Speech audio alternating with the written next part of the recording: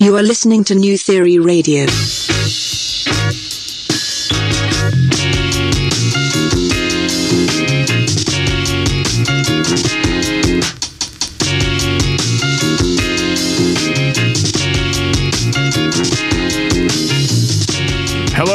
Welcome to another edition of New Theory Radio here live on News Talk Sauga 960 AM. My name is Nav Nanwa. I am your host, and this is a show where we theorize on all things current affairs, pop culture, and everyday life. Thank you so much for joining me on this Sunday evening or early evening or late afternoon, whatever you want to call it. It's a very special edition of New Theory Radio this week. Uh, we are going to be doing a special photography episode. I got a lot of homies kind of in my inner circle that do uh, that do amazing things when it comes to work behind the lens, and I thought it'd be great to just dedicate an episode to that and really talk to them about the scene uh, as a whole, and and to really theorize on a few of the topics. One topic in, in particular is the uh, popularity around street photography. A lot of people on Instagram, a lot of people in some of the more popular galleries. You're seeing a lot more portraits, a lot more scenic shots, a lot more um, elements that are being displayed based on the places where people live. And I'd love to get uh, uh, I'd love to get my three guests to chime in on that as well. Uh, we're also going to be talking about uh, photography gear. And when, when I talk about photography gear, it's not just uh, you know your, your usual camera or your tripod, but some people out there actually just use an iPhone to take really amazing photos. And I want to get all three of their perspectives on that and to, and to really uh, you know lean in a bit and, and get their thoughts on people that you know use an iPhone to make things happen or use other nefarious means to make their photos happen. Because I know uh, in the industry of photography, um, it can be it can be very specific on the technique, and and for some people that can uh, really get a good shot, it'd be, it'd be interesting to see uh, what really goes into that and what it actually means to them. And then uh, you know we're gonna switch gears a little bit and we're gonna continue the conversation, but look at it from more of a business slash hobby standpoint. Um, uh, you know the photography industry as a whole is a very uh, cluttered industry. There's a lot of photographers out there that are uh, making a living doing different types of photography, whether it's wedding photography, event photography, music photography, and then there's some people that are really amazing, but they only do it just out of passion and out of hobby.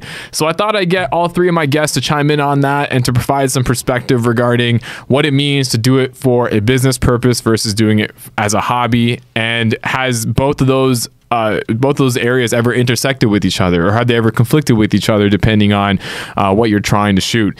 And uh, before i go to commercial break i think it's only fitting to announce who my guests are because i totally forgot about that. I got in the building uh, i got my boy flash richards as well as uh, Strictly Steele two amazing creatives. And then i also have joining us uh, an amazing photographer as well as the producer of the new theory radio theme song. He's no stranger to the show. He's been on numerous times and that is my homie dusty loops. When we get back we're going to start talking talking about what it means to be a photographer in this day and age here on News Talk Sauga 960. You are listening to New Theory Radio. We'll be right back.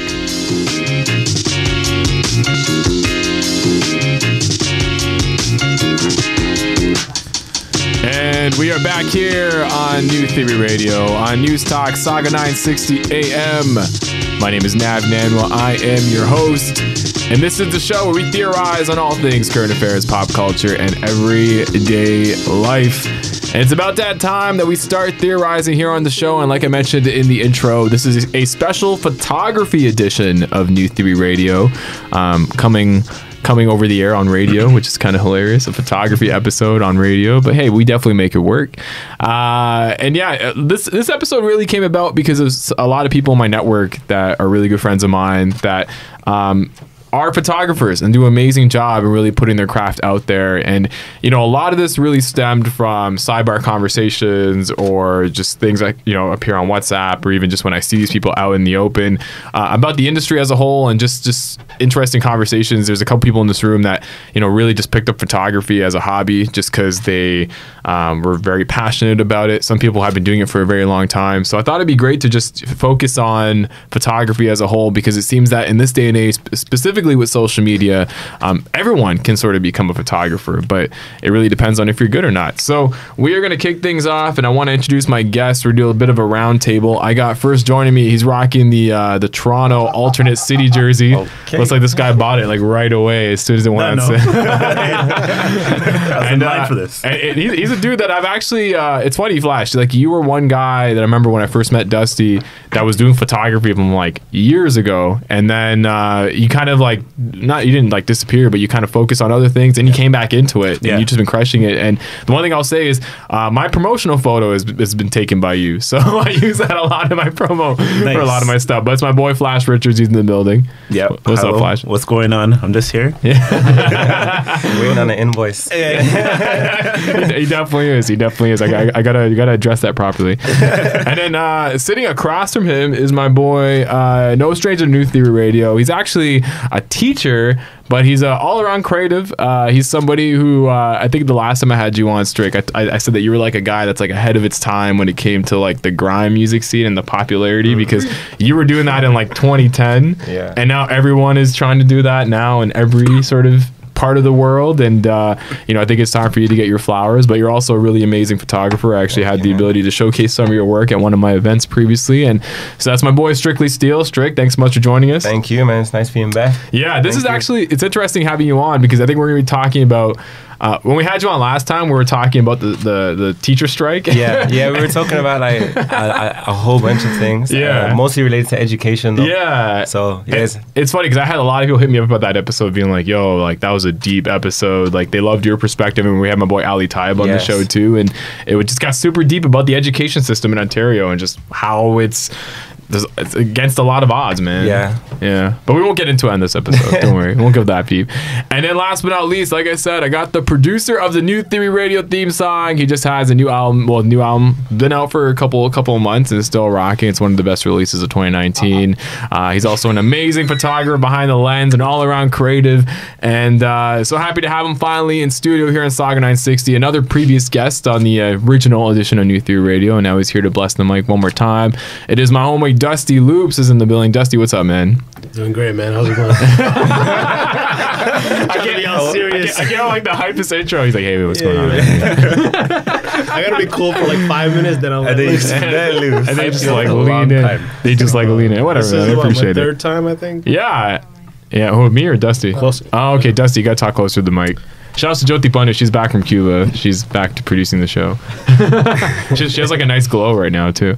Um, but yeah, no, it's good to have you back, man. It's- yeah, we had you down a couple times, and uh, you know what? It- it- for me, this is gonna be a fun episode because um, I've had the opportunity of going on these things that you guys like to call like photo walks, where like you guys get together in a group and um, you shoot not just within sort of Toronto, but all over the place, and you get different perspectives on different objects or people or locations and it always makes for like a unique experience. And it's one of my favorite things to sort of creep on when I when I see you guys on the on Instagram is just who can get the various shots. And our very own colorblind photography the official photographer in New Theory Radio. Big up. uh, yeah big, yeah big up. He's, he's also the executive producer of this week's episode. He, he, he pretty much chose all the topics.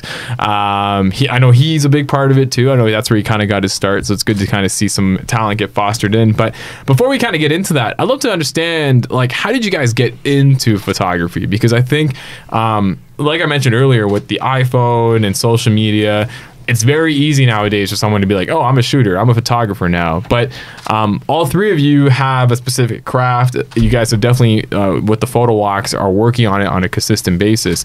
And uh, Flash, because you were one of the first photographers that, that I, you know, sort of knew in this vein when I first met Dusty, I'd love to kind of get your your stance, man. How did you get into this? Uh, photography for me started when I was very young. Actually, my dad was always into photography, and he had this Canon camera with a bunch of lenses in his closet, way up at the top. like Really? so, but he would never let anybody touch it because I didn't, you know, uh, uh, photography and the the gear is very expensive. So Yeah. uh, he he just kept it up there, so out of my reach. And then one time I was rummaging, rummaging through his uh, his stuff, and I was like, "Oh, look at this camera!" and then um, It was, like, it was like glowing, wasn't it? yeah, yeah. I was always playing with it, and then he'd all I would always get in trouble every time I took it down, and then he would tell me put it back, and I'd be like, okay, whatever. Wait till you're gone. um, but it, it, it kind of like at that point in time, I didn't know about photography. Obviously, I was like six, seven years old, and I was just like, okay, this is a cool gadget.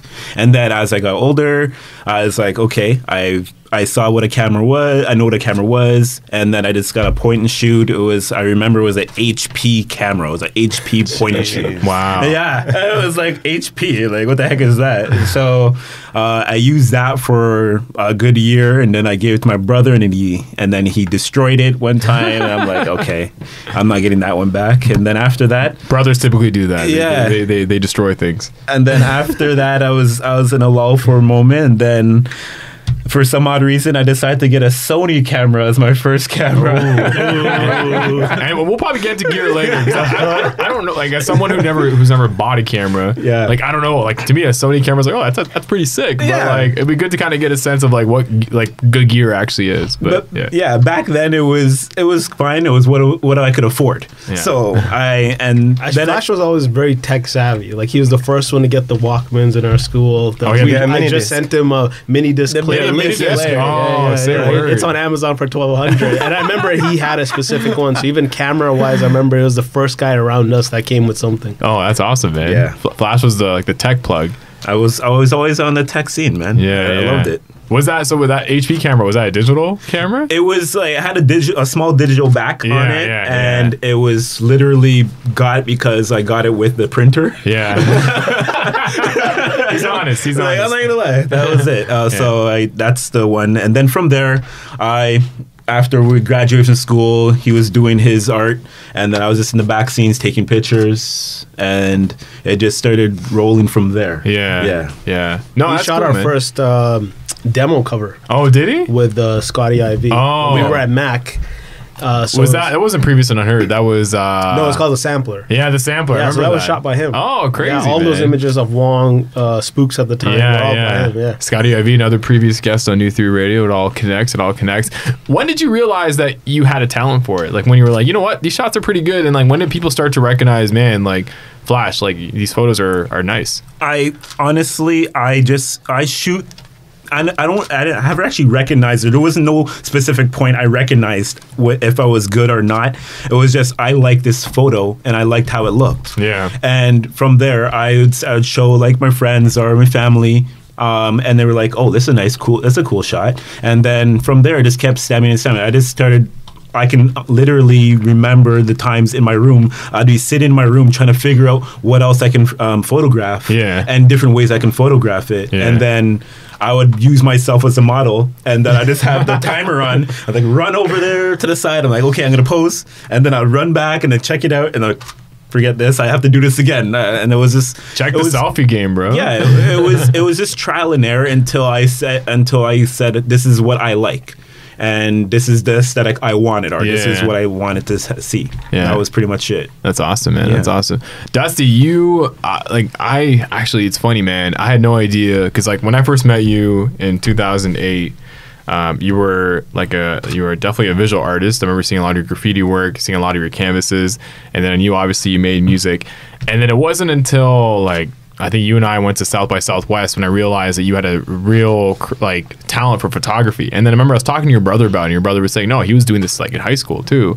Um, so when did you get introduced to photography? Because I don't, I, I don't think a lot of people know about your start, and they see your Instagram, they see all the amazing shots, but they've been they probably don't know the backstory behind them. I think similar to like uh, like how Flash was saying, photography wasn't a thing back in the day that was championed, right? Yeah. It was just something that people did. We all knew about like that one uncle at the party that had the big camera. he was taking everybody's picture, and you Yeah. never got to see the pictures, right? They all just You disappeared know, in the abyss. Yeah, so same with us too. Like my dad would have a camera. I remember just shooting the rolls, or they would shoot the rolls, yeah. and we would never get them developed. Oh wow. So it was just an activity that just to kind of like pass the time at a party. Yeah. So it was always around. But coming back to that South by thing, um, it was actually that trip that I had in South uh, South of France. yeah. With Young Guru, right? Yeah. Because I saw him like uh, w- after we would finish all the music stuff, he had a Leica and he was doing photography on the side. Oh, nice. And for me, like,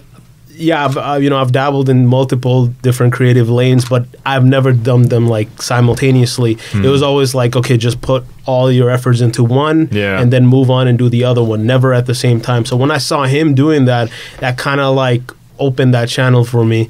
So I was like, okay, if I can you know, if I'm serious about this, if he can do it, most likely I can do it too. And I remember like when I was shooting it too, uh, he was just he would kind of encourage me and say like you know you have a natural eye for it. You're shooting it off your phone. You mm-hmm. know you, about your composition which i guess it comes from my our art side. It's it, once you know how to do compositions it, you can kind of carry that over into any medium. Yeah. so from there i kind of you know i i kind of explored it through my phone for three months. And i you know I, I said okay if i can do this consistently and i'm getting the results i want then i'll invest into a smaller compact camera which i did which uh, you know unfortunately my first camera was a sony i'm kidding i'm kidding Sony i'm hate, kidding man. it was a sony rx one, uh, 100 uh, mark iv so sorry Evan. I'm, I'm like Sorry, pretending yeah, that's like, an okay, inside I joke. It's an is. inside Oh, joke. okay. right? We rag on each other's gear, but you know, at the end of the day, the gear doesn't matter, Yeah. right? Yeah. So uh, yeah, so I, I I shot with the compact camera uh, for a whole year.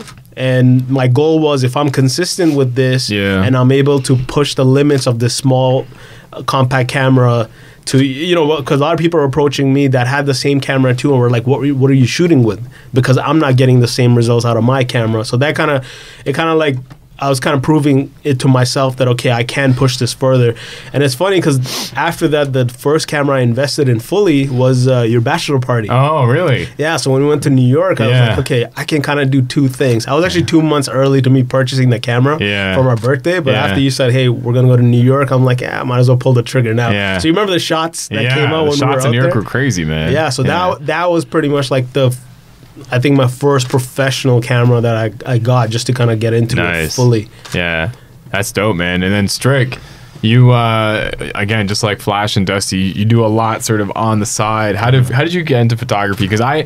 I had no idea that you were into it until I, I saw you pop up with Dusty a few times uh, at some of the photo walks. Then uh, again, we displayed two of your pieces at uh, at Meta Brampton last year, uh, which were uh, fantastic, man. I remember Thank you. I remember just being really moved by a couple of them too. So how did you kind of get get dip your toe in photography? Game. Um, again, it's just one of those things that photography it was around, but it wasn't really something that you pursued. It was just like there's always someone taking Yeah, pictures. There's yeah. always like the photo album, and um, again, kind of like Flash. I got a printer when I went to school, and my mom copped it me. Came with a, a free camera, like a, just a Canon point and shoot. Yeah, yeah. And especially because when I moved out here, a lot of my cousins were asking about what's life like in Canada. So I'd be taking pictures of everything. Like, even though I, I couldn't get the shots that I wanted, I would just still take pictures and I would be sharing that online or Yeah. sharing it in emails and like, hey, this is what's going on in Toronto. This is what's happening in Brampton. this is this, like all the house parties. I was a dude with a digital camera just like taking pictures. And then everyone messaged me in the mornings like, hey, don't put that online. My mom's on Facebook. So I always had I always had a camera with me. Like I always had a camera. Um, first professional camera I got was actually a a Canon AE1, which is an, a vintage uh, film camera. Nice. And I got that just to just to practice. It was cheap at the time, and this was before like film exploded. So I remember I got the camera for thirty dollars, but the lady was in Newmarket, Yeah. um, and I was like, I'm not going out to Newmarket. This is when I was still student life. I'm like, I'm not going out there. It's I wasn't far, driving. yeah. so I don't know. Like I was very naive. She's Yeah. like, Hey, I can actually send you the camera if you PayPal me the money. I was like, this is Kijiji. I don't know if this should be trusted, but I did it anyway. little scared, a And little um, scared. yeah, very trustworthy. She sent the camera like thirty dollars later, and I just bought film on um, on eBay, and then I found like film stores, and then you realize that there's like a whole community that we're doing Yeah. film. And I was um, using a lot of online resources at the time because I didn't really have access to many books. So um, like Flickr at the time was like really Oh, Flickr really was huge. I remember that, And I used to go to the forums there and just like search up how to fix things. Yeah. And it was cool because it was all mechanical, so I was able to like break it down and like clean it. And I, I, I still have that camera now. Like I, I bring it out sometimes, and I learned a lot of the foundational skills from that. Um, and then once my mom saw like, oh, like he really likes his photography stuff, then.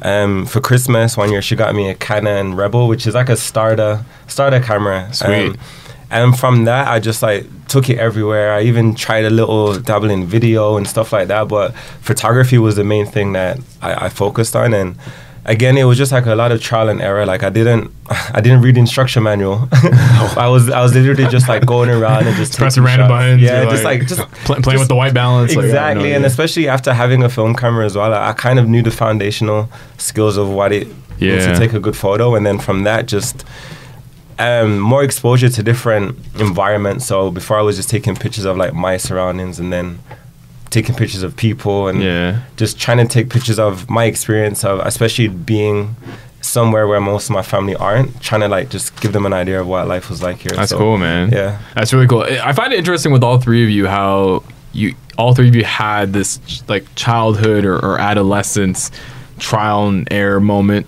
with a camera. Like I think back to like first time I ever seen like a video camera that my parents had bought, and you pick it up and like you think it's the coolest thing ever when you're making a video, or even now, like like my niece has a a Fujifilm Instax camera, right?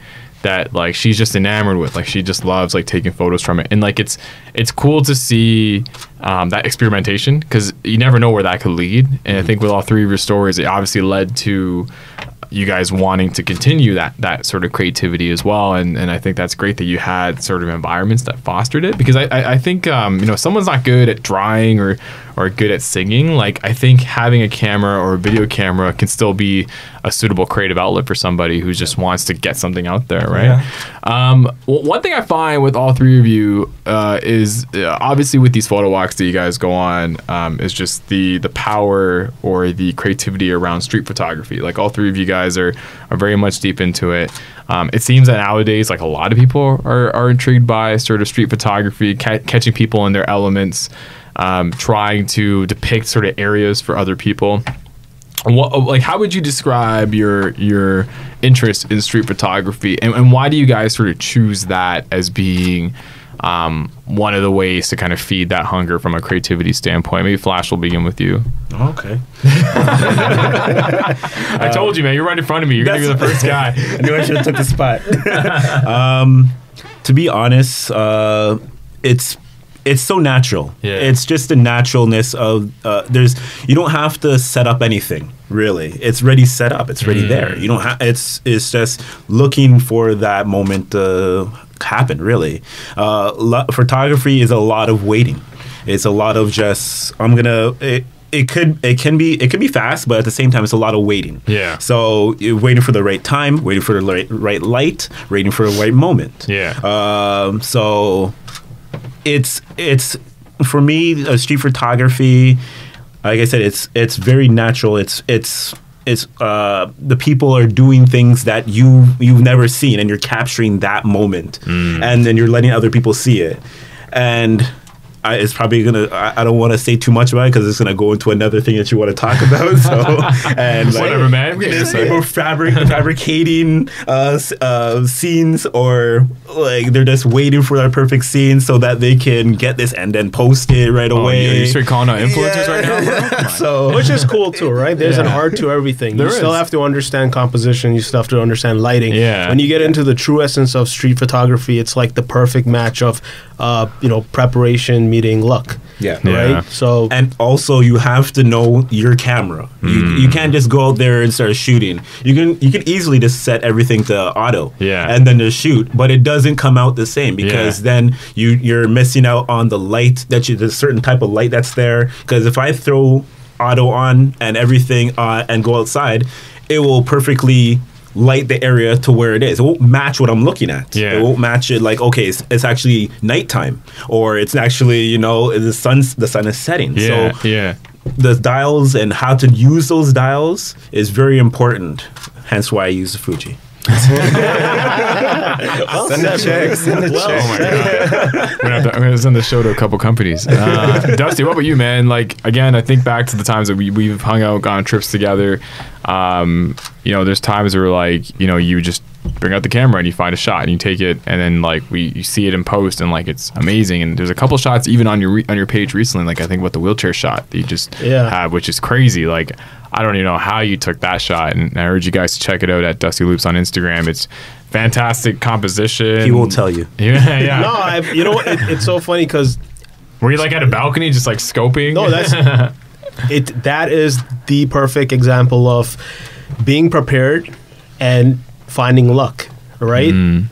Prior to that shot, we probably took three, four hundred shots. Yeah, yeah. So it's all leading up to that, right? So that's how like a lot of our photo walks are. When we're shooting, you know, people think like, oh, if you shot 200 shots today, y- you know, they're all postable or whatever. Yeah, it, it doesn't yeah. work like that. Sometimes you have to go through two, three, four hundred shots just to get to that one Yeah. that speaks of it, which is the same similar ratio like uh, with film too, right? Like I heard this quote that if you shoot film and out of a roll of 32 or 36 if you're able to get at least one good shot out of 36 uh, uh, shots it's a pretty good day right? Which for us it might be like oh that's a waste or not. But when you really look at it from retrospect it makes sense right? That's why that wheelchair shot is a lot more i would say more uh, captivating and it feels more powerful than just like building shot. Yeah. Right? Which is fine because I just posted a building shot too, right?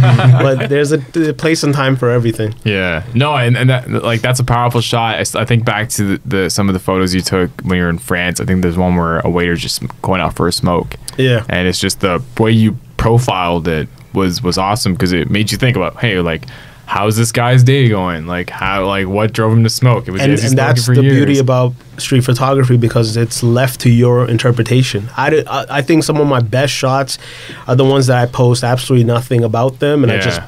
I just post them online, and I just see people having their own conversations about it, and I can't recreate that. The funny thing about that shot is that's the only one shot I took, Oh, yeah? and I don't re- recall taking it either. wow I just Crazy. remember sitting. I remember seeing someone in a thing, and maybe out of fear, I just shot it and put the camera down. Yeah, yeah. Because you know, out there, the laws are different for street photography, and they will tell you to delete the camera or call the police. Oh, right? really? It's not the same over Yeah. here. We we have a lot more freedom out here in North America.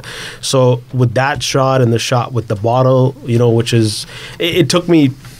There's thousands of shots that I shot uh, during that two week trip Yeah. that led to those three, four shots, which are now, to me at least, pretty timeless. Yeah, yeah. Well, when it comes to actually, that, that's a good point you bring up. When it comes to the sort of perm- the permission that exists, like, have you guys ever been in a situation where you've taken a shot and God. someone's been like, multiple, delete it? or- multiple times, man. Really, like, like I remember when I was starting off in in Toronto, um, on the subway, Yeah. like just going to subway stations. Apparently, you're not allowed to take photos in the station, but I didn't know that.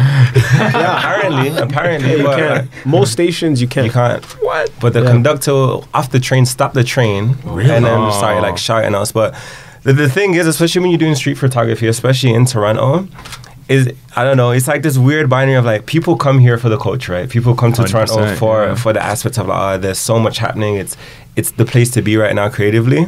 But when people are creating, they hate it because it gets them out of their comfort zone. So, for example, Mm-hmm. me and Dusty and um, our model, this our Shout our out featured model. Heartbreak. Hey, Heartbreak. Um, we were just shooting, and what we like to do is like go after beaten path. So we'll like go on a main street and then maybe go down the side. Like um, in Toronto, if you've never been there, there's like a lot of like laneway houses and things like that. So we'll go around there, try get some graffiti, try get some um, architecture. I was taking a picture of like this really dope silhouette of this building, and the guy comes out and he's like, "Hey, what are you doing?" I'm like, "Oh, just taking a picture of the From building." his balcony, Yeah, too. from his balcony. Wow, I'm like, really? yeah. I'm like, oh, I'm just taking a picture. And he's like, why? I was like, because I live here and I'm just documenting stuff. He's like, wow, we don't like it. Move on. and then Yeah. it's, just, it's just like stuff like those that. exact words? Yeah, Yeah, we don't want you taking pictures of our building, which I never heard because I was on the other side But, shooting. but there's other people living in that building, though. yeah, but he's the only one that had an issue with it. wow. But it, you know, I've I've faced that even when I was working with the city of Toronto doing the murals. Yeah. You know, these are commissioned murals that I'm painting with the community, Yeah. and somebody would come. And I remember my favorite moment was uh, me and Wong painting this bridge, and this Russian lady walked by, and she just like I looked at her, like said hi, and she looked at me, and she's like, "Go back to Jamaica." and I just, it was such a funny thing, like bro, I could not stop laughing because it's like, yo, this is so bad, but also you're so. wrong for uh, But, saying that. I'm You not gonna no. I, I do I do miss your dread phase, man. Your dread know, phase was man. awesome. It was heavy. It was That was a, that was a different life. It's like, it's like the Just Boys phase, you know? but but but even with that, when we were doing commission work, we would have random people come up. There's some people that are just intrigued and they want to know more, so they'll ask you questions Yeah. and they don't mind it, right? Because Yeah. they might have a nephew or a son or somebody that wants to get into it. But then there's just some people who don't know any better, or they're just miserable and they're just gonna say something and you know go about their business. And I let them, whatever. Yeah. That's their Yeah. win for the day. Good for them. Well, especially because if you go like downtown Toronto, downtown Brampton, even in Mississauga, like you go to Port Credit, like I was in Port Credit a couple weeks ago, like there's people walking around with their cameras, just Yeah. shooting everything. And I think nowadays, when it comes to again the social media generation, uh, to your point, I think some some people are more open to it, but then you'll have a couple of rotten apples that are just not in favor or kind of like paranoid as where are these photos going to end up. Yeah. And um, I don't know, like I love the point you brought up, Stric, about sort of Toronto being this epicenter of culture because I find that people are so crazy about um, you know Instagram photos, clout. Like if, if they see a photographer, like oh yeah, definitely take my photo and like send it to mm. me. i'll have to post it, and then sometimes when they post it, they edit it.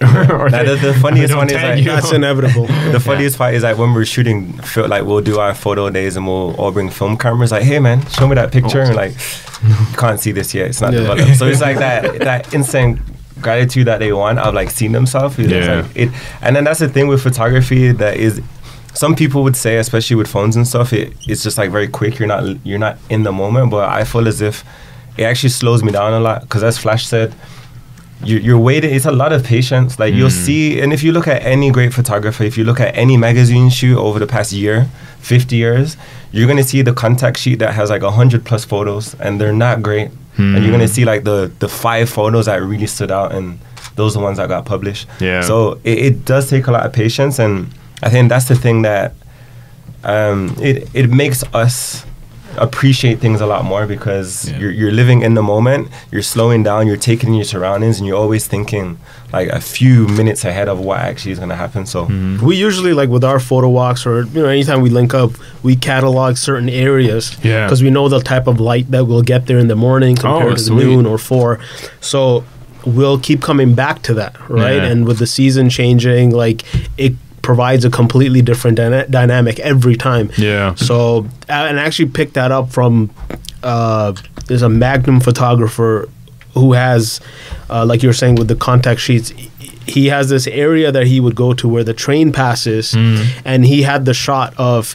I want the train passing with this person walking right underneath it. So he would go there every couple weeks at noon and just wait, and just wait for that to happen. And it took him like you know a couple weeks, couple months or so. Yeah. and it happened. He finally got it. Right. So it is something like you know that's one idea that he has, you know, stacked up with other ones that we're constantly working on. So that Yeah. it makes it it makes it more fun. and Yeah. this, the city is also changing like rapidly too Yeah. right so like shots that we would take last year y- you go to that area now the building's not there anymore so you're kind of Yeah. like documenting a lot of stuff that are That's changing in the city so That, that's the fascinating part about what you guys do too, and and that's probably a, a good segue to my next question. Is just um, why street photography? Like what? Like why is it?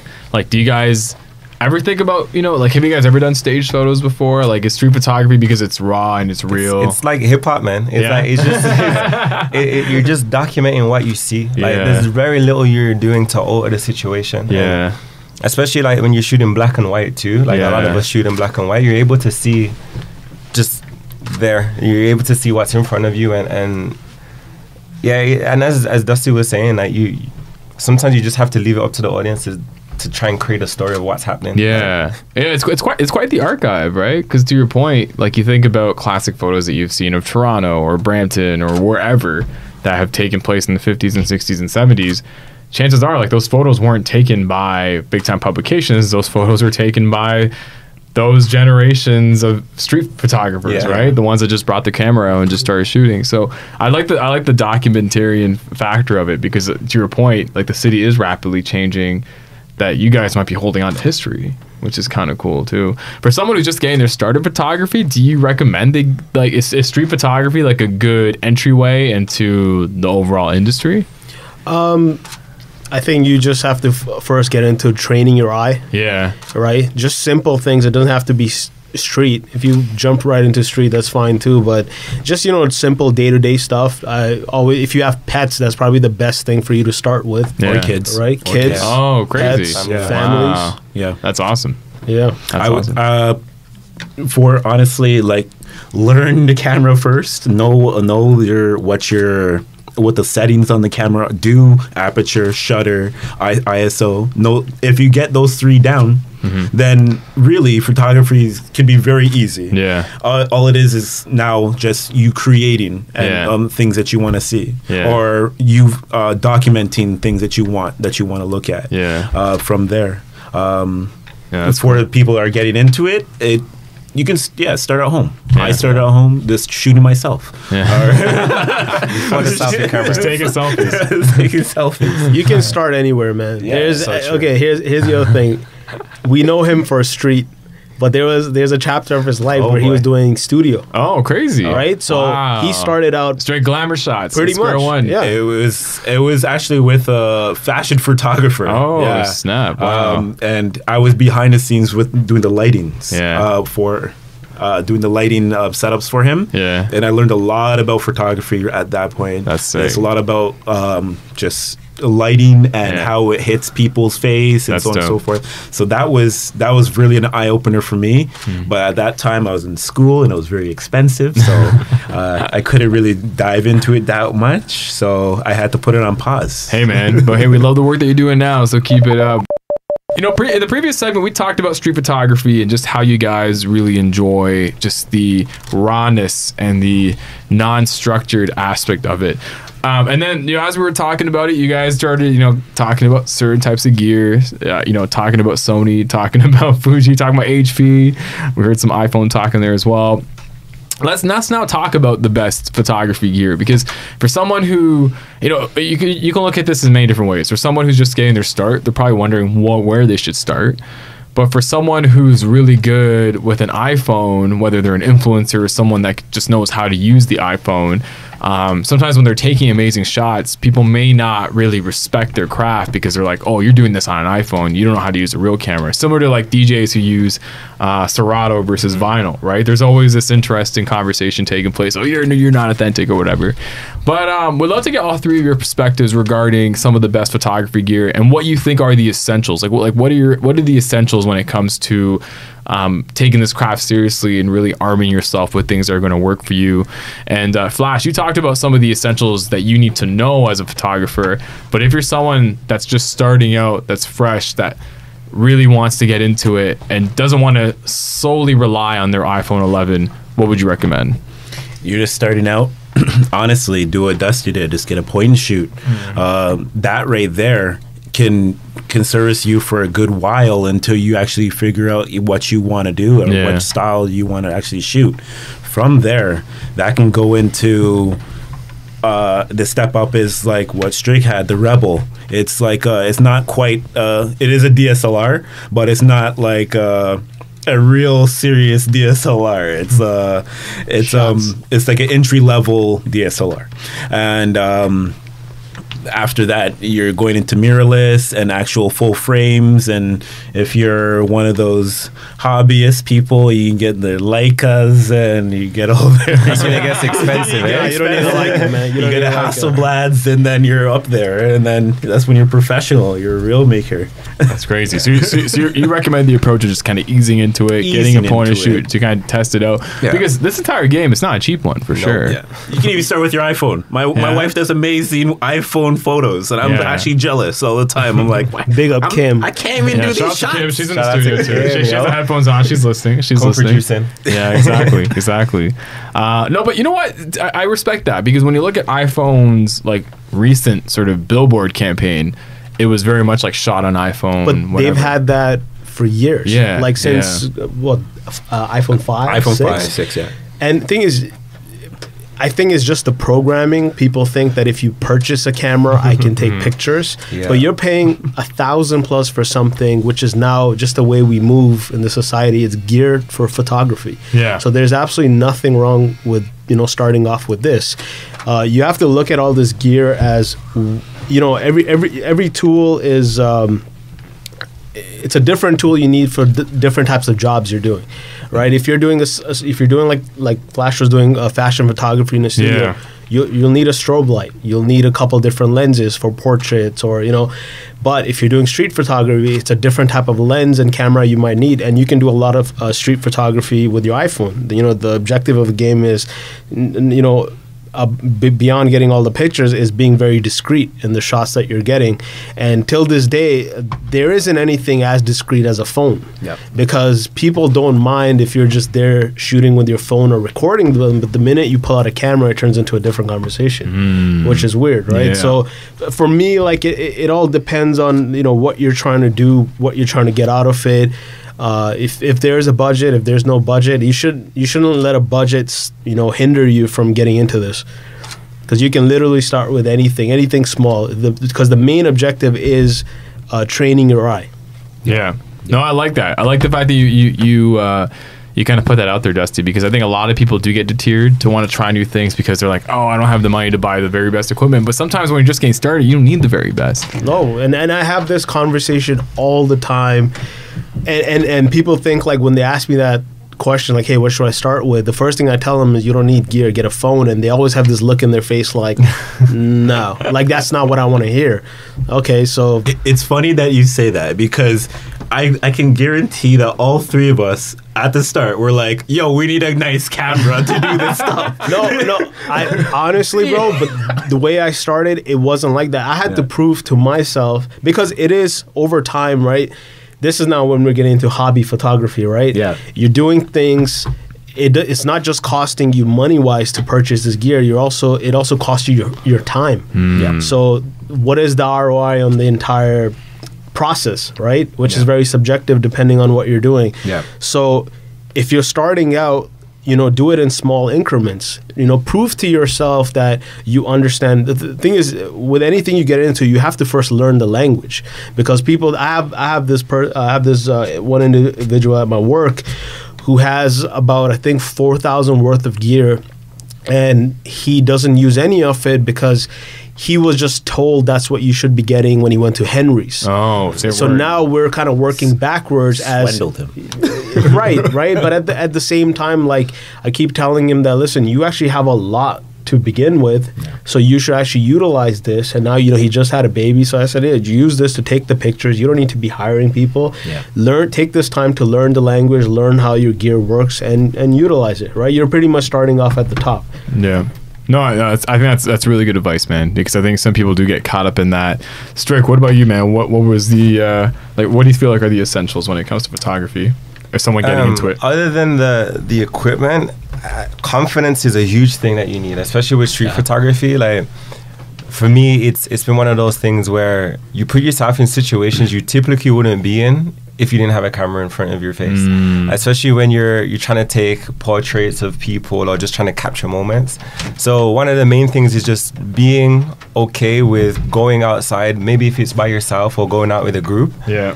and just being confident taking pictures like as silly as you may look with a, a big camera in the middle of the street like just do it because at the end of the day no one's really looking inside your camera until the end of it when they see the results right? Yeah. so that that would be one thing. And also um, in terms of equipment like I hardly use my phone to take pictures to be honest. Like I, I, I it is the thing that I have with me the most.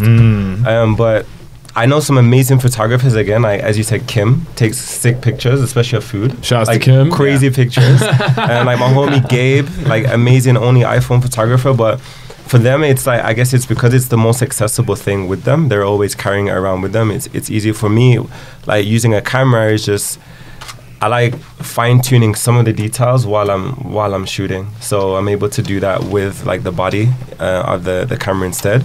And for f- street photography, you don't really need much to be honest. You could shoot street photography with a point and shoot. You could be using like the most expensive camera, and the point and shoot will probably end up being better just because of convenience, the way it looks, and when Dusty was saying having a big camera does kind of change the way that your your images will turn out not in terms of like how you're shooting but people's perception of what you're shooting for Yeah, right yeah. and, and we've all talked about this like all of us have transitioned over from using big cameras like intimidating looking professional mm. cameras to mm.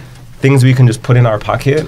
And people are like oh yeah these guys aren't really going to take much pictures. And then they, and they don't realize that once we go and like you know extract the card put it onto our laptop we're like wow these are crazy. So, Yeah. yeah, it's a lot of it is just perception. I would say. Because like, and to your point, like I think someone who, like when you think of, I think when you think of a photographer, you think about a gigantic camera in their hand, maybe with like the disposable light bulb breaking every time you take a photo. Like you think about paparazzi, right? You think about like something gigantic that's covering their entire face that they're gonna have to bring with them every single time they go out and shoot something, which is not the case anymore. Like to your point, like I remember Flash, like you, we went to the Travis Scott concert, you had like a point and shoot, right? yeah. And the shots you Crazy took were phenomenal. yeah. Yeah, like crazy. they were amazing. Like I don't know why Travis never hired you for the tour after. just like But, straight oh, he brought. Yeah. he brought it. He's always strapped. He's always strapped. He was, he was waiting for that. He was waiting for that. Um, actually, I want to I want to go back a little bit. How, like because because all of us are, are in and around the same age.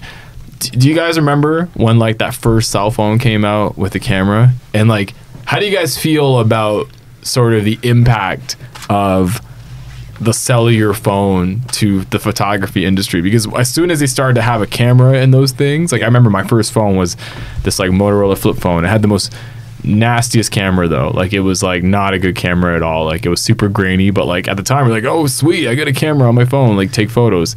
Like how did you how do you guys uh, like in the, in the grand scheme of things when it comes to the art and the craft that you guys put into this what's your overall thoughts on the fact that a camera is readily available in your pocket? For for me when the iphone i think it was iphone 3 or 4 had the camera on it.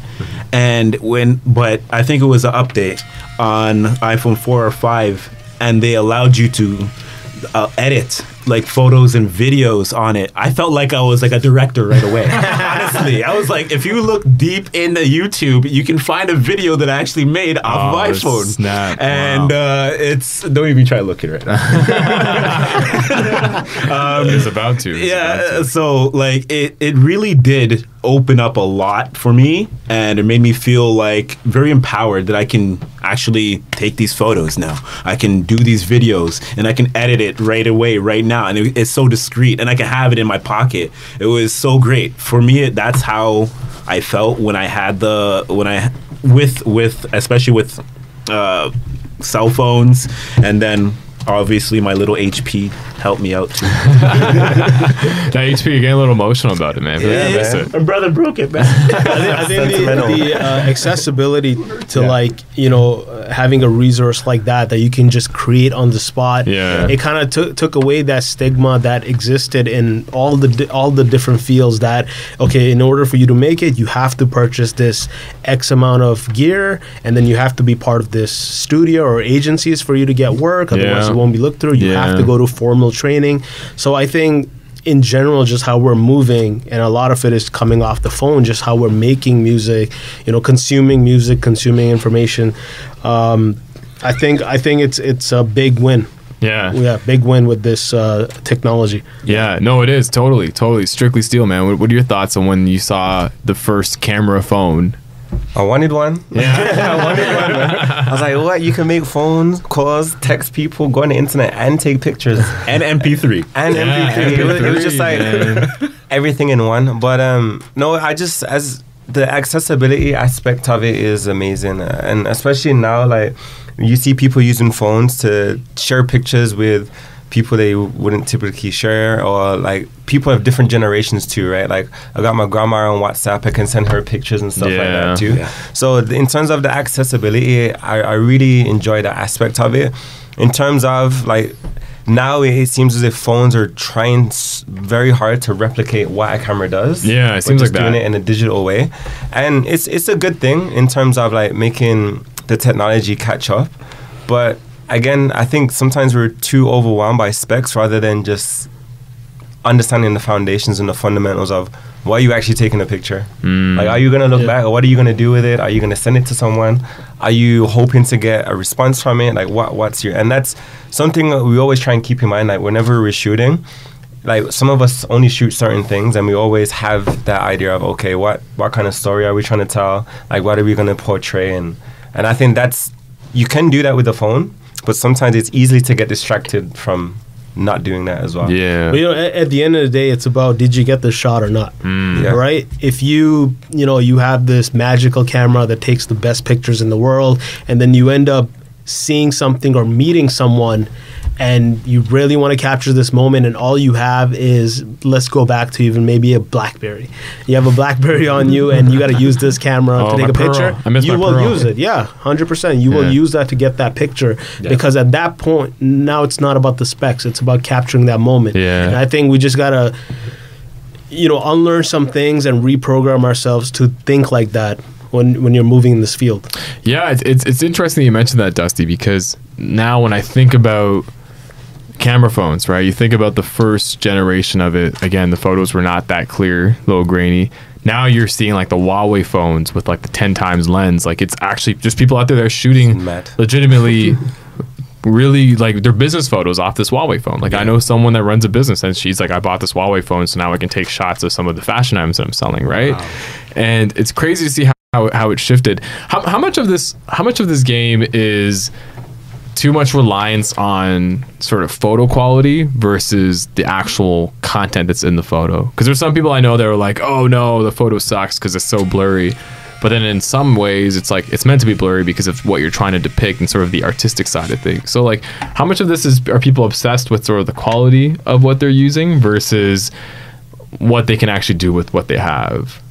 I, think it, it comes down to like photography as as good as the image is, it's also subjective as well, right? So like we were having a conversation, we were at a gallery the other day, um, checking out some some film work, and we had like a really good good discussion. And this is Yo, all of please, us in please this. elaborate, man. Where, where Yeah. you guys were? Don't throw anyone under the bus. yeah, I'm not bro. throwing anyone under the bus. We were at this gallery, and he was basically explain it. documenting this one artist that we only discovered like on on that day. His name is Larry Larry. Towell, um, and he's he's a Magnum photographer. So Magnum is like an elite group of photographers and they document certain things. It could be photojournalism in like war torn countries, refugee crisis, like things that are happening around the world. And we had this conversation of like what makes a great photo is it the the composition of it of course is important. Like you have to be able to use your camera, understand that you let in enough light in and you're making sure that things are, you know, clear and, and sharp. But there's also like a, a big element of you're in the environment or you're in a place where things are going to be different and it's mm. going to be shocking. Yeah. And, it, and it's going to appear as if like that moment you created it, but it was just not by chance, but you would just happen to be there uh, by luck and was able to just capture it at that same time. And it's one of those things like when you when you see some people that aren't into photography and they and they see a, a very simple picture, which if you ask any of us, simple pictures are the, the hardest to do. Like that's why portrait photography is so moving to me. And they're like, oh, that's so easy. Like I could have done that. I'm like. Nah. You, no, you couldn't have like you couldn't have done that. Like you you wouldn't have had the same conversation with that person prior to taking that photo. You wouldn't have been able to manipulate the surroundings the same way as the that. So Yeah. it's yeah, it's it's, sub, it's a very subjective art form, but it also does rely on your environment and it's I find because we're talking that same day, and I would chimed in, and I said to I've said to them, a lot of the photography that this this photographer was doing, it like you said, it's simple but it's complex. Mm, mm. But at the same time, it's not that it's not anything out of the realm that we couldn't have done. It's not like oh he needed like a big production to get this done, and we didn't know how he did it Yeah. it was very simple street photography. Um, the thing is, I feel photography a lot of time is the fact that it's it's by um, opportunity, the opportunity that you're there. Yeah. And he he was there documenting these stuff. He knows how to use a camera, and obviously, and he he and he we can see it through his photos. He knows Stric knows how to use camera. Amma knows how to use a camera. Dusty knows how to use a camera. If you were put in that same situation, not, I'm not going to say his, his pictures will look to come out the same. It'll look like a Dusty photo, or it'll look like Ah, a Stric photo, or it'll Okay. look like a, a my photo. Yeah. We would document the same thing, and Yeah. not to say anything wrong about that he was. Sorry, not to say anything wrong that he was. Um, or that the photos are easy, or any way, um, any in any way, is Yeah. the fact that his opportunity was there, so he took it. Only thing that opportunity is pretty tough, bro. I will not be out there because the opportunity that comes with bullets. You get me? Yeah. Like you're taking pictures of these people that are amputated, and there's a chance that someone might shoot you in the back of the head. I'm not taking that chance. You know what I mean? I'll, I'll stay in the streets of Toronto. Once again, those are just opportunities that he Right. took and you never took. 100%. That's all it is. That's crazy, man. Uh, actually, I got a list here. Let's, let's just go through it because I love doing this on the show. I love actually like na- like getting people's thoughts on different articles. Now that we're towards the end of 2019, there's all these 2019 articles coming out, decade lists and all that. So there was uh, an article that came up. Let me just open it real quick. Da, da, da, it had to do with like the top top camera gear of of 2019. Do you guys pay attention to lists like that, or is it just like Eh, they're fun. They're fun to. Yeah, to it's look like at. FYI, I don't really like- care about yeah, that. like like yeah, is there anything that like when you look at it, it's like oh yeah, I need to. Uh, that's definitely a must cop. Um, okay, let me just open this up. So the phone's It's like more over just now. to yeah, just for conversation. Just, just with for the- banter, the lads. Yeah, you yeah, yeah. It'd be like, ah, did you see this? so, so this this list that I'm gonna pull up.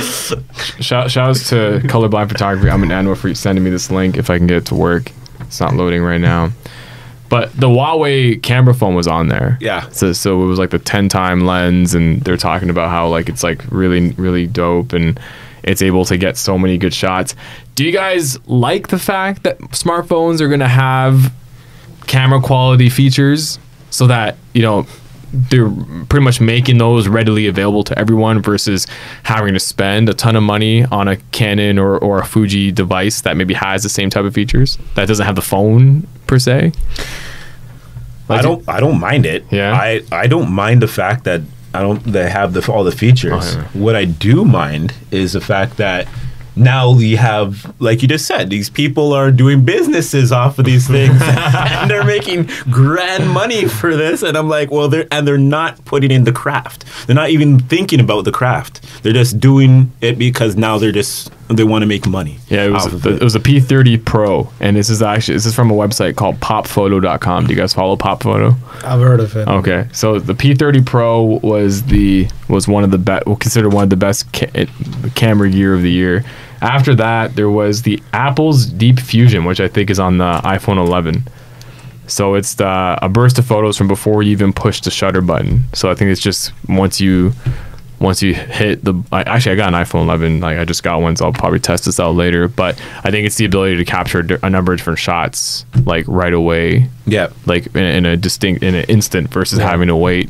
Do you guys like that? Like, do you guys like th- these tech features that are sort of coming into the art that You are know what? making Like, things easier? It's crazy now that I've been doing photography for so long that all of us, and not just the people in this room, but all of my photography friends have gone back to the fundamentals of just shutter speed, ISO, and aperture. And like That's all the eh? fancy stuff is just like the main three. yeah, it's just it, they're cool. Like they're cool, but it's they're just features that you're not gonna necessarily use all the time. And like as as you're talking about iPhones and like the Huawei phone, dope. It's it's super cool to see how like photography now is being taken seriously by these big companies. Like they're partnering up with Leica and Carl Zeiss and like making sure that even if people are taking photos with their phone, like the hobbyists can still enjoy like good quality.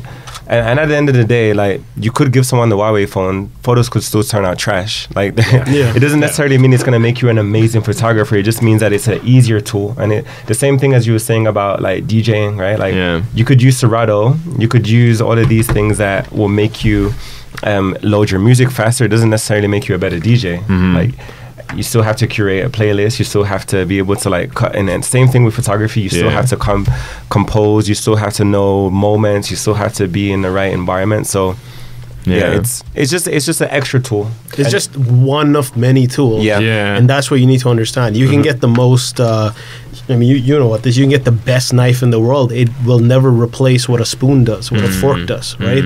Every tool has its own purpose. So even with the people getting, you know, these latest phones, and uh, the only, only thing I, I don't like about uh, some of these things is it kind of really waters down the industry where Yeah. when someone gets something like that, they really feel like I can do the same thing that you do, right? Which is fine, but now try using your phone and doing event photography. Right, your phone doesn't come with a flash. Mm-hmm. How will you co- how will you compensate for that? Well, it's, it's, it's also funny because I like you think about some of these professional photographers out there. If they're buying into a Huawei phone that has like so many features, and imagine you hire them for a gig, and maybe this is a good segue for our next topic. But imagine you hire them for a gig, and all they do is show up with their phone. Like, there's that perception. Like, is this person serious? Like, are they gonna? Should I take this person serious? yeah, and, and I remember somebody. It's, it's very. I'm glad you brought up the DJ industry straight because I've had conversations with DJs where they don't use like Serato or anything. They have like a mixing program on their iPad. And They just plug it in and they just use the iPad, and apparently the party is amazing. And it's just it's hilarious how there's this perception around. Oh, if you do this, I'm expecting you to show up with like, you know, uh, yeah, a tripod, a big time camera, maybe even like some type of light to better the reflection. No, uh, we had this conversation with I had this conversation with Amit when he was first starting out. Uh, this is prior to him getting Lightroom, so he was shooting the stuff off his off the Sony, but then just editing the pictures in VSCO. Yeah. Right? You don't have the same flexibility. Uh, you're actually cheating yourself, but not editing the raw files. You're just editing the JPEG. Yeah. But that's something he had to learn because he probably saw the limitations it, it had. Yeah. And then the next step was okay, I need to invest in this monthly Yeah. subscription to Lightroom and Yeah. Photoshop and really start using the files to their full advantage. So all this stuff is great and Mm-hmm. I think there's a time and place for everything. And I think sometimes some people will you know just you, you'll learn as you go. Yeah. And maybe you'll hit a wall and then you'll understand okay, maybe you know, I've capped out with what this phone can really do. Hmm. Still a great phone, but if I need to do, say, portrait photography, you can't beat like a 50 millimeter plus lens. Yeah, Yeah. Right. yeah. There's actually uh, I, I was going to continue the, continue reading down the list, but there's a Sony camera on there, so I don't want to cause any disagreements in the room. Uh, but but I do want to talk about. Sorry, I'm, I do want to talk about one more thing before we go to commercial break. Is I've seen uh, I've seen Dusty. Have you? Um, I've seen you use a lot of film and actually post it on your IG and on your website. A lot of film photos, and to me, like I'm seeing like film and even some even Polaroid or the Polaroid technology as almost being very similar to the resurgence of vinyl in music. It's like there's hand in hand. Like people are, tr- are maybe now going back to the fundamentals because they're looking for that type of aesthetic. What are your thoughts on someone who's never who's getting into photography and has never taken a photo with a film producing camera versus a digital camera? Like, do you think that they need to sort of learn every single aspect for them to be Uh, good, or I think you can, like, it's such a big field. Like, you can start anywhere. The you know the objective is as long as you're starting, and you're understanding and you're growing and you're challenging yourself, right?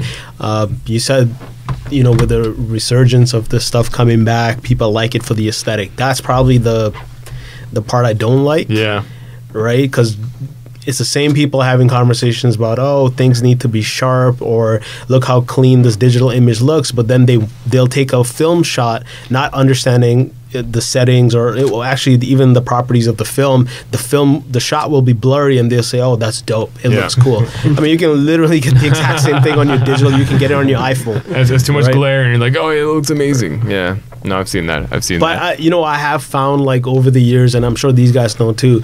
When you're talking to people about this and you're having these discussions in your groups, you know who to have the conversation with. Mm. And at a certain points with certain people, you just don't. You can only share so much Yeah. they're just not receptive to hearing. yeah. uh, you know the other things, and they'll do what they need to do. If they if if they're you know they're satisfied with getting whatever they need to get by buying a ten thousand dollar camera, that's that's their path. But now I want to switch gears a little bit. You know, we talked about uh, sort of the art behind street photography. We talked about uh, the gear that people typically want to buy before they get into the industry, or what you guys think is the best gear around, and what you all three of you use to get started. Um, now I want to switch gears to more of the business of photography versus the art of photography. So maybe looking at it from a from a hobby standpoint, but also looking at it as a, as a means to make money. And what I find interesting about all three of you is you guys each have different day jobs. Um, you guys also have a lot of different interests as well.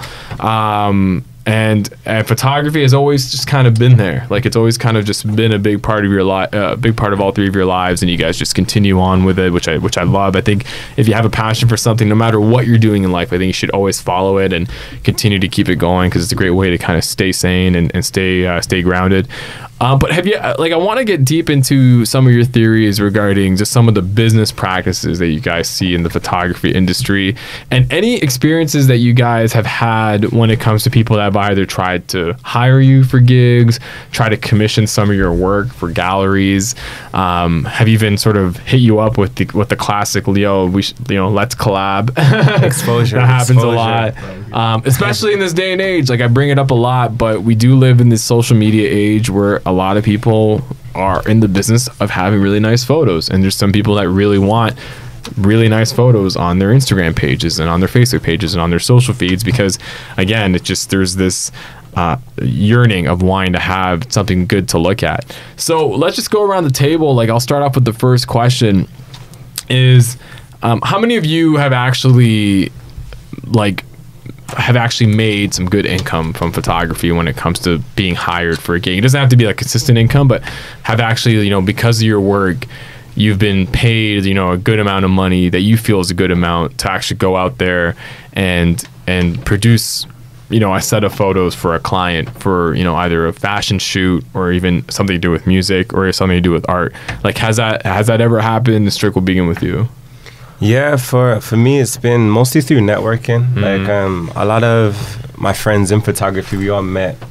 Um, there's this place called Free in in Toronto. It's like a creative agency, and a lot of Mm-hmm. us met there from just the curiosity of learning more about photography. So a lot of gigs came up through that. Like um, I've personally done like gigs ranging from like studio shoots to like a red carpet event, which I wasn't even prepared for, um, to doing Okay. like um, like a. photography in an apartment for like a, a rental listing so i've been exposed to like different things like that and it, it kind of makes you sharper in other aspects because you're dealing with the business side and you're not able to be as creative like no one wants to see some crazy bokeh and like some crazy black and white photos when you're taking a picture of an apartment you, there's an industry standard and i think that's what it's helped me with is just realizing that there's there's an industry standard especially within toronto of of what to expect. Some of them positive and some of them not so positive. Yeah. Uh, but yeah, it's there's definitely ways to make money in the city as a freelance photographer. Um, and uh, probably about two years ago, we all had the same conversation about. It was the, the era when everyone was doing photo shoots for like $150, $100. and like to us, that's like sacrilegious. Like, what do you mean? Like, Yeah. it costs the $100 just to rent a lens for the day. So, and, and then you also have to account all the time it takes for editing photos and things like that. So, I think that era, it's I don't I don't really see it as much now. I'm not sure if you guys still see it. I, I still see it, but Yeah. like in New York. yeah, But I, I get it. If you need hundred bucks, you need a hundred dollars. you need a yeah. hundred bucks. You need a Yeah. hundred bucks for your rent. You Yeah. can't do anything about it. We have friends in our circle that sometimes do stuff like that, and Mm-hmm. and we've been vocal and said, hey, don't take these gigs because you're only encouraging people.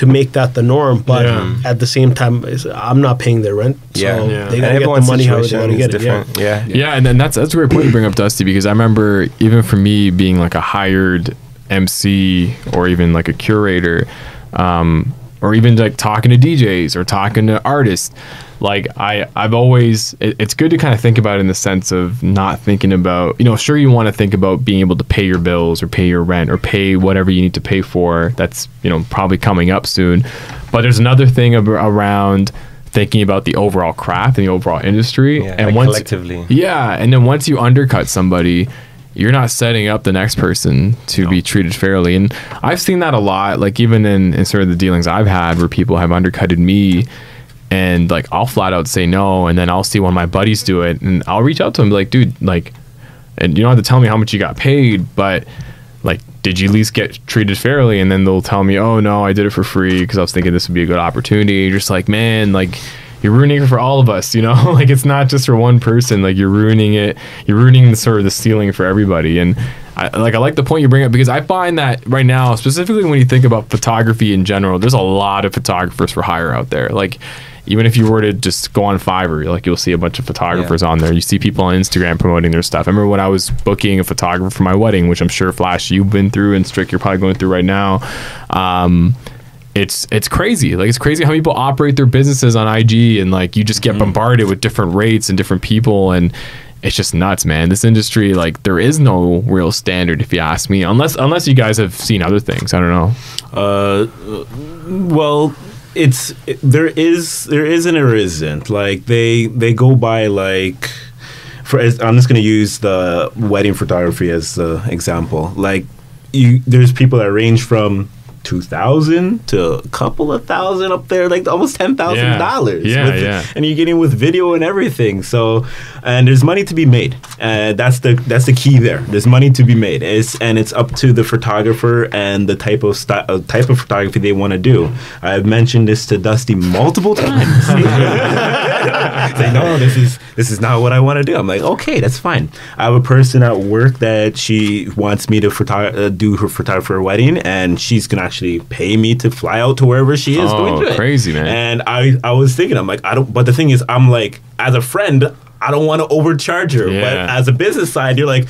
Charge her what you're supposed Yeah, to charge her. And that's my business side right there. Yeah. She's like, charge her what no, you're because supposed to that Shouts to person is willing to pay somebody else the same amount. So why, do, why not come? Yeah, let it but come to as you, a right? friend, I don't want to be charging her like five grand for the or three, four grand for the for that's what's gonna cost for a It's wedding tricky. photographer. business is business. Yeah. man. Yeah, that's what I'm saying. You got to separate it from uh, personal from business Yeah. at the same time. I, But that's that's a fair challenge because um, me, me and Dusty always joke about homeboy business. Like there's always people that are like, "Yo, come on, man, just do me this one favor. You know, I'll, I'll come. I'll go. Don't worry, I got you next time." And like that next time never comes. Like you just Yeah. continue doing like doing favors for each other. And and again, like I've even seen like um, people that do shoots for like artists. And like again it's just like, on a whole collaboration tip. But then again it sucks when you hear about some of these artists like paying other people to do stuff. And you're like well i thought i was getting you from the whole collaboration point of view right? Like and that's that's the one thing like i, I guess how, how do you guys watch out for those types of opportunities? Or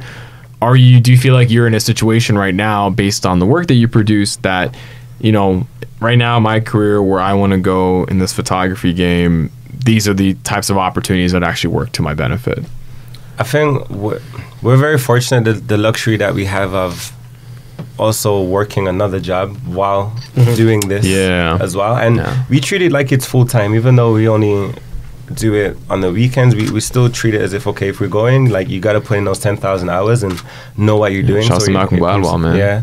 So it comes out properly. But I think the most important part is like sometimes you're not gonna get paid for the service you do, but it it it might lead you to being around the circle, or it might lead you to like learning some new information that will help you in the long run. And and sometimes that is worth more than getting that mm-hmm. two thousand dollar gig that you thought would be paying your rent. Yeah. you know, and it, it will lead to a long term opportunity. But I think is a lot of the times, it's hard for people to to figure out when to take those opportunities because there's definitely corporate companies that take advantage, especially in Toronto, because there's so many creatives out here. I know friends that do a lot of corporate gigs for like a lot of big sportswear brands and still waiting on invoices. Oh my like God, stuff yeah. like that. And, and you, you can see that they're using the, the content in their campaigns and everything yeah, and Yeah. You're, you're not seeing and, and that's that's a huge shame man when you see these big time corporations who you know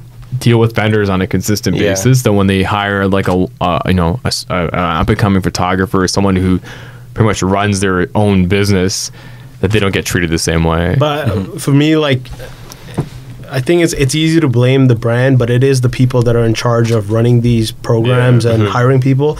If you're somebody in, like, who's in charge of a project, and in general you're just a shrewd person, that's how you mm-hmm. deal with, with people, and you think that hey, if you can do it, I can do it too. So what am I paying you extra for?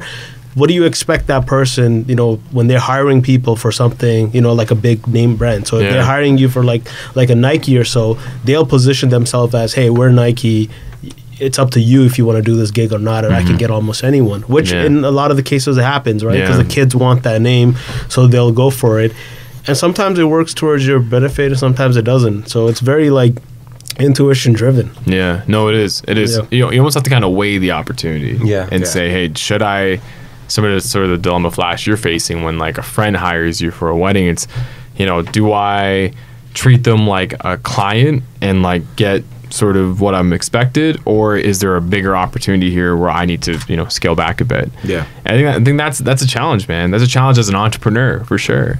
But I think the big advantage he'll he'll have, even if say he's charging five thousand and they're hiring somebody else for Mm-hmm. five thousand, is his pictures at five thousand will be very personable, personable and more memorable compared to an outsider because they don't know the family. So he'll be able to get pictures which which will be much more lasting and re- really connect with the family a lot more than just hiring like an outsider. No, do totally, right? totally. Because I've done I've done two weddings just for fun Mm-hmm. because you know these are like my close friends. So I just wanted to document it Yeah. the way I, I wanted to document it, Yeah. not the wedding photographers. And in both cases, they've liked my pictures more than the person they paid for six That's grand awesome, to. man. Which kind of sucks because at the end you're like, man, I could have made some money, but at the same time, like these guys know I don't want that responsibility. Yeah. I'm just not into like event, you know, like a hire photographer. So Yeah. I won't do that. Actually, just to switch gears a bit, so when we're looking at this business versus art sort of conversation, um, obviously each each each of three of you, and actually all four, including Amit as well, um, you guys have your own unique, distinct style on how you bring photos to life, like how you use the equipment that you use. Um, how do you deal with a client that wants you to do something that's not within your style, but more so either goes against your style, but something that's totally just bland that you know you and your heart know that someone else can probably do it, but you're getting hired to do it, and you're hi- and you're getting hired to sort of make it happen. Like, how do you go about sort of putting aside your artistic integrity just to get the job done? You just stick it out. Yeah, Honestly. yeah, like if you're getting paid for it and they're paying you're paying they're paying you the money Yeah. so they you and they have a spec if they're if they don't give you creative um, open opportunity to do what you want then and they want a specific look or specific look um, then you just stick it out and do what they want then you get paid and you walk away but Yeah. if they're like giving you open range of what you can do like Dusty in, in his um, situation um, he not to say that they told him or they were like oh come to the thing and you shoot he came there and shot on his own Yeah. uh, and then it turned out amazing so then if they're allowing you to do that and they don't give you any uh, Uh, any instructions then you can Yeah. do what you want But in my case, it's like when people approach me, they're approaching me based on the work they've seen. I don't go around asking these people, like, "Can I shoot this?" Whatever. So if you seen most of my work and if it's in black and white, not that I just shoot black and white, it, it's just always weird to me that they come and they say, "Okay, we want this, but like we want it all color and we want flash," and it's like. You know, it just doesn't work. So, in, for my case, like I wouldn't take that. But like Stric has more experience of doing like he's done like retail gigs and stuff, like for um, real estate too, right? Yeah, yeah. So he knows that look that they're going for, and he'll bang it out. yeah. and it's cool. like it kind of relates to me. Like my brother's in the DJ in the music industry as well, and it's like there's some gigs he would just have to play songs that he would never play in his own house, right? He would never listen to. but it pays the bills, right? yeah, and it's like sometimes like there's some people that just need a photographer for a service, like. They just need to get something done and they need a photographer. They don't have the equipment and they'll just rather hire someone to do it. And then there's other people that are coming for your look, like they're coming for your aesthetic, they're coming for mm. your perspective on certain things. And that way, you're able to be a little, you're able to finesse a little bit more because, like, okay, I'm actually going to need this. If you want to replicate this, you also have to provide this. And it's not like you're you're asking for too much. It's like if you want the look, then you have to be prepared to yeah. provide provide the equipment, provide the environment, and and help me help you kind of thing. And, and that's that's another interesting thing too. I had a conversation last week with my wedding photographer. She came to our house and did a did a shoot with my daughter. Congrats Why didn't Evan again. do it? Oh, I got you, Evan. I got you. I This told just- you. This just got super weird. Uh, They're brothers, by the way. Spoiler alert. Um, Hey, yo, you wanted this to be a controversial episode, bro. I brought it. whatever. I appreciate that. I appreciate that. Hey, he's, he's done a bunch of photos already. Uh, well, anyways, um, so I, so she she came to our house, did a shoot. Thank, thanks for the congratulatory remarks, Stric. Appreciate it. She she came to our house, did, did the photos. I had a conversation with her because I remember when I first met her. In, in 2016, so shouts to Ramya. She, um, when I met her, she was just getting into weddings, and she had a passion for making documentary films. And she was working on a documentary for Parks Canada about swamps or something, and just about how like you know there's like a there's like a beauty behind them that people don't really see. Like it was super deep. And then I asked her when I saw her last week, I'm like, yo, how's your documentary coming along? And she's like, you know what, Nav, like I've completely put it on hold because I've just been doing weddings now, weddings and, and babies and, and like e-shoots. And I asked her straight up, I was like, are you like creatively fulfilled? And she said like, she said she, she said she was, but I can sense that you know there is a, a, a, a there is like a, a want to want to continue some of the creativity and wanting to continue maybe finishing the documentary or if they're doing something else. So that's another thing I wanted to kind of ask is uh, as, as Amit's phone goes off. Uh, another thing I wanted to ask is uh, is how do you like how do you hope to manage that? How do you hope to pay the bills but to continue to be creative? Because the one thing that happens to a lot of people that are in the photography industry is unfortunately they do get somewhat stagnant. The photos start looking the same. They have a formula that they go with. It's something that I can relate to when it comes to like mc'ing Like I used to say, no, I don't want to MC weddings. And then I got that first wedding paycheck and I'm like, okay, maybe, maybe I'll start emceeing weddings, right? And then it's sometimes it can be very formulaic, man. Same thing works for every crowd sometimes, right? So just wanted to kind of get all three of your perspectives on um, once these types of corporate slash personal gigs start coming up and they are paying the bills versus some of the street photography that you guys are doing as a hobby, how do you go about staying sane and balancing the boat so that you don't feel like a robot? Maybe Stric will begin with you because I'm looking your direction. yeah, I think it's, it's it's doing things such as what we already do, like the just casually meeting up on the weekend, taking photos and and exp- like sometimes we don't even realize exactly what we're doing. It's like practice. It's we, we're just out in a dojo, just just shooting and just just flexing our creative muscle with, great company, and we're learning from each other as well. Like someone may have like a new camera or a new toy that they're bringing with. It's like, hey, I got some new film or I got this new equipment. Let's test it out, and it, it kind of pushes us outside of the the box and and out of our creative like limits of what we, we know what to do. Um, but I would say the the thing is, you just always have to just make making time is so important. Like. I know some people that have made the transition into like that wedding and and that like the baby photography, and it's super lucrative, super lucrative. But I think what keeps them sane is just having the hobby part of them still intact and being able to just shoot for fun. Maybe it's not even gonna go on Instagram or it's not gonna be printed off, but it's just, hey, I was able to take that today, or I was able to go around and you know just shoot for fun, and that's what keeps me like, Yeah. happy. Like a lot of it is just those weekend shoots where we're walking around, taking photos. And eating food, like a lot of pit stops in between, it's just stuff that keeps us engaged in this in this craft. I find I find that to your point, Stric, like when you're in an industry that you're passionate about, but you're doing things that are completely repetitive, that you almost feel like it's clockwork. I find that when you have that little bit of sort of creativity scheduled in, Yeah, it does make you sort of cope with that versus like being 100% creative. Because sometimes when you're 100% creative, you do get like, you do get a little like, you know, in this sense, it's like photography block, right? Like you just you get this sense of like, oh, like your creativity doesn't like sink in and you start to wonder, oh, okay, how do I look at things differently? Mm-hmm. But I'm actually I'm actually of the belief of you where I try to mix it in when it comes to my craft of like stuff that pays the bills, but then making sure that there's stuff like this, like Yeah. the show that like continues to allow me to kind of do what I'm passionate about. Flash. That's that's a great point right there because honestly, it is like you got to. Even though it is repetitive, if it's whatever you're doing, the paid gig, and you're doing it, it is repetitive. You try to, f- I at least try to fit in your own style, and not just what they want. Because uh, and you can easily just uh, shoot it the way you you would shoot it without them telling you, Yeah. and just put in your own style. And honestly, I would say 50-50 times they would be like, "Yo, this is a nice picture," Yeah. and like this is not what they wanted, but this is a nice picture. I'm like, "Oh, okay, okay, yeah." Like maybe you like more of that. So, like, So- sque- sque- squeeze a little bit of flash in there, and there that will squeeze in another session with them because Oh, you know what? It's like, hey.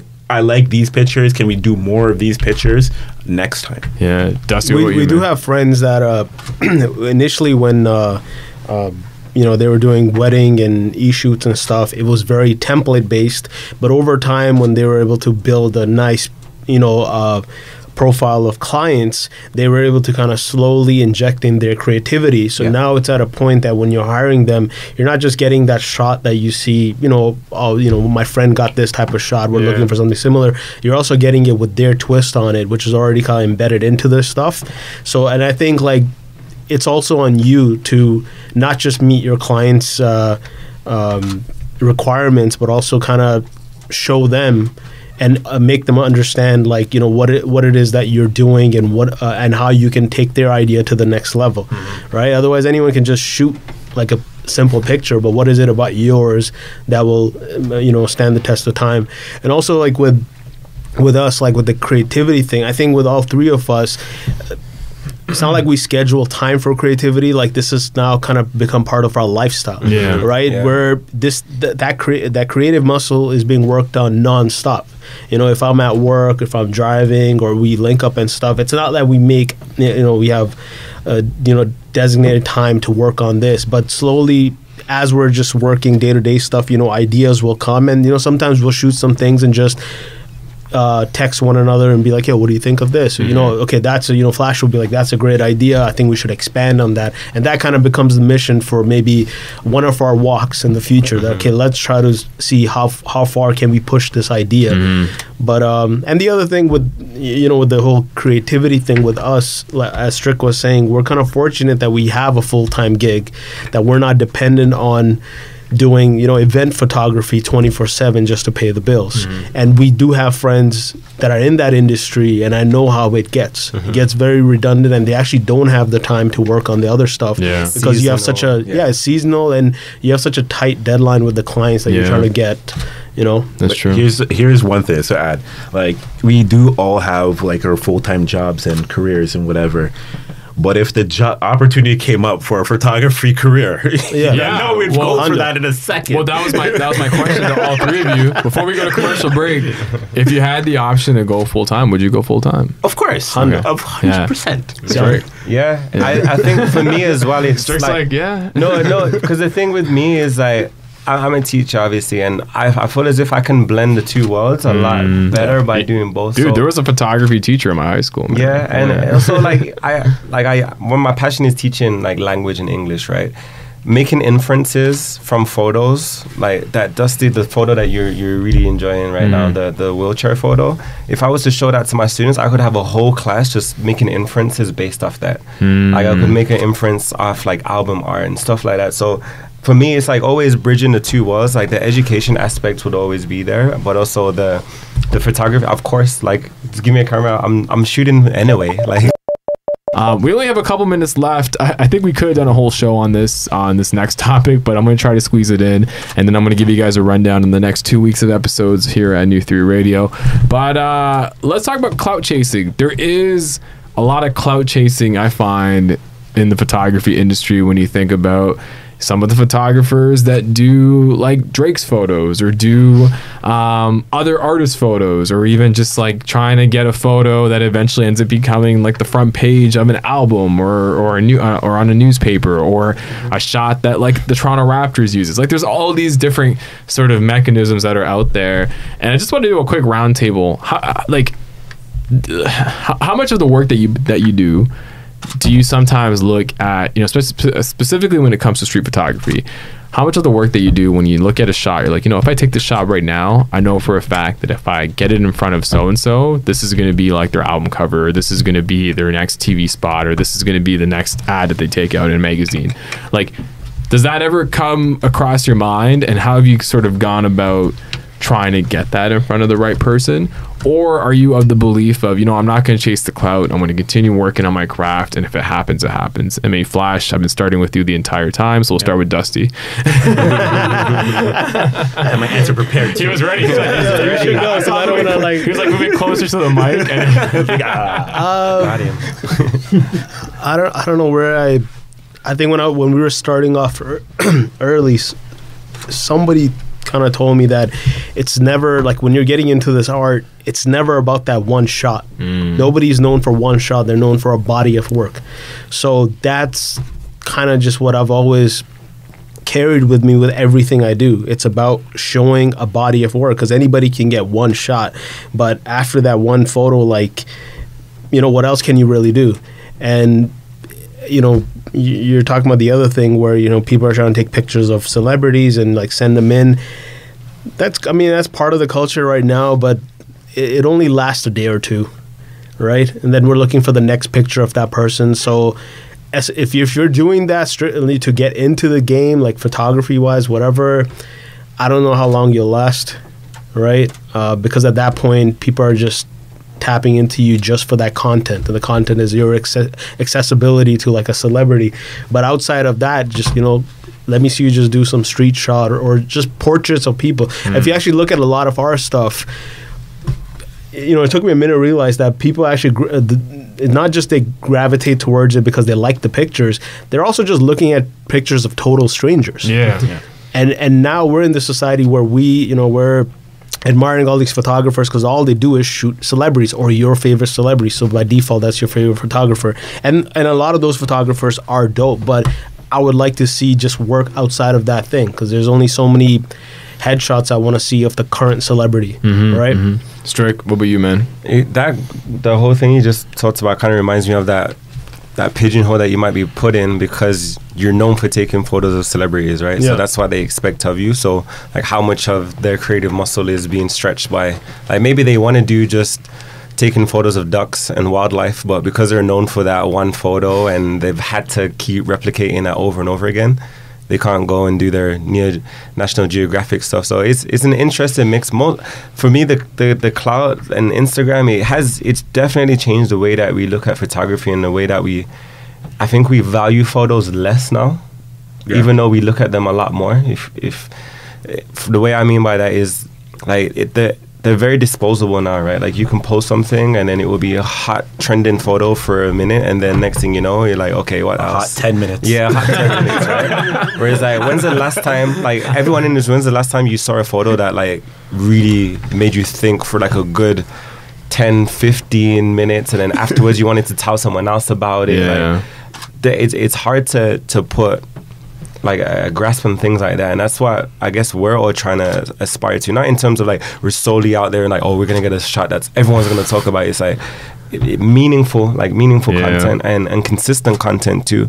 Uh, with with the the cloud and that word is just yeah, it's like you know like the what what are you what is the reason why you're taking the photo? As I said before, like there's a reason for everything, right? Like maybe it's to get exposure. So when you get onto that stage, you can start doing your National Geographic stuff and take photos of ducks. But in the meantime, you just gotta take pictures of Yeah. celebrities and yeah, it's I don't know. It's like a it's a it's an interesting mix. I guess it really depends on the person too. Like maybe people do enjoy that Yeah. lifestyle because it is a lifestyle as well. Like our It's, it's a chase though. It's Yeah, a it's a constant constant chase. chase, It's like man. it's like uh, you know people that get into like those VIP parties and Yeah. stuff, and then we you know we saw some of those people at that last event that we were We at. did, yeah. They had no business being there, but every year they're attending those parties, so. Yeah. It's just a chase that uh, you know the thing that they're chasing, just a high they're chasing. So Yeah. That's it.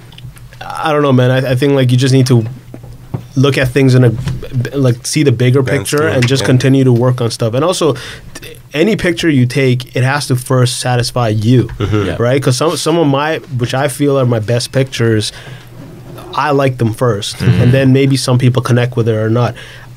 Now that wheelchair picture, like. It's a great shot, but it was actually just sitting on my drive for a while Yeah. because I just didn't see it. I didn't see the thing in it that everybody else sees, right? I just kind of looked at it from a technical aspect. Okay, the lighting's really good, good. Everything lines up. This is dope. So I just ha- happened to share it. But there are pictures I've posted, which I feel like there's a lot more, not just the technicality aspect to it, but like just layering of different um, things in it thematically too, and it just kind of goes over s- someone's head. Unless like we end up talking, and it's like, yeah, that that picture's pretty sick. Like he has a picture of the uh, the Mona Lisa. I Oh, can't yeah. tell you why it's a it's. I've seen a million pictures of the Mona Lisa. Why is that picture dope? I don't know. Yeah. There's a feeling in it, Yeah. and I think that i- in the end, that's what it boils down for me. Flash, man. Pro- provide your perspective in under two minutes. Okay. to, uh, just to echo what these guys said, it's pretty much I feel the same way. Uh, f- um, but in a little way, I think uh, you're people that are chasing clout are chasing the fame. Almost every photographer wants to be somewhat like you know known. It's not like you're no one wants to be un, uh, the unknown photographer. That's insane. Like what the, unless you're doing it personally for yourself, which I haven't really seen in my lifetime. Uh, some uh, photographers want to be known in some way. Yeah. So it's just to what extent you want to take it to, and how far you want to take it to. And like Stric said, what are you gonna put? You, and then keep putting yourself in situation. I think you or Stric said you're gonna keep putting yourself in that same situation um, just to get that same photo, and then just so that you can get the same um, reaction from people and such like that. I'm like, okay, that's fine. And then where do you go from there? Because you're you're stagnant now, and you're, not even fresh material.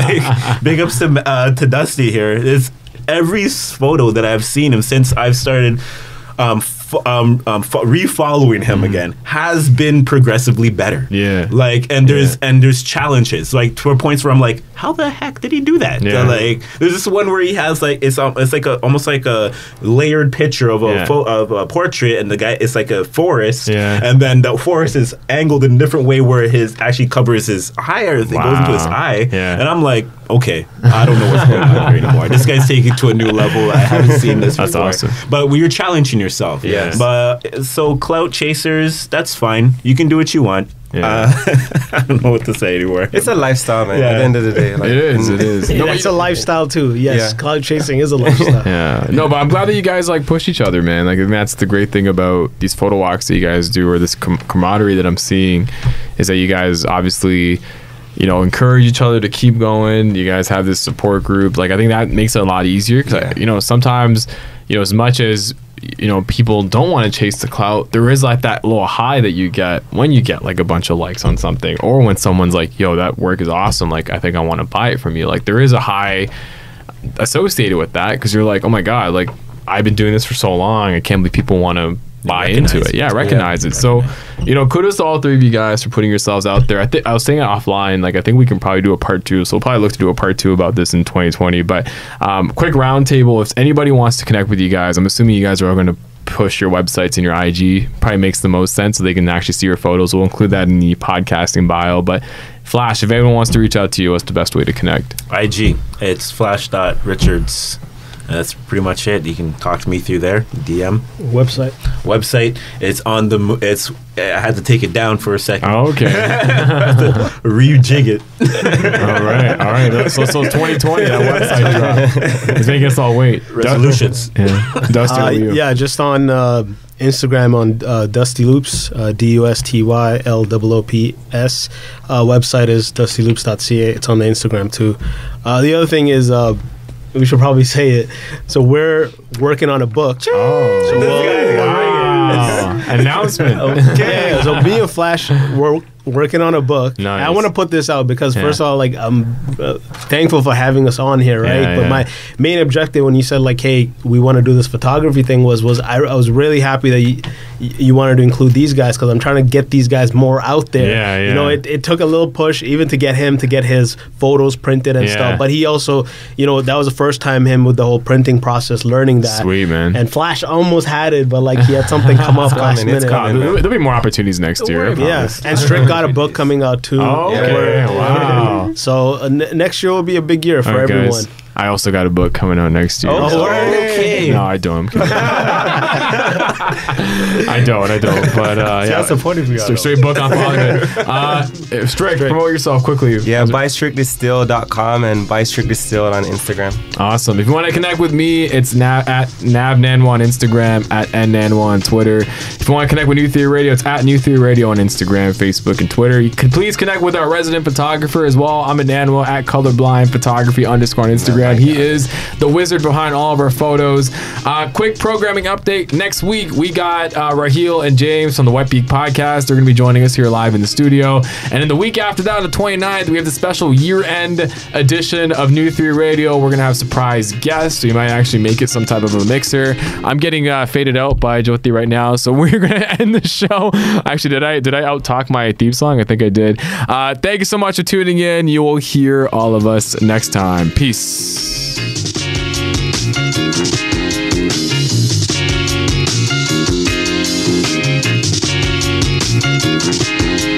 No radio? No problem. Stream us live on sauga960am.ca.